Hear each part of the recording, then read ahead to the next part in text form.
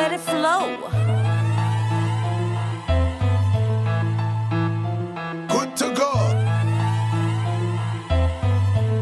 Ringo B.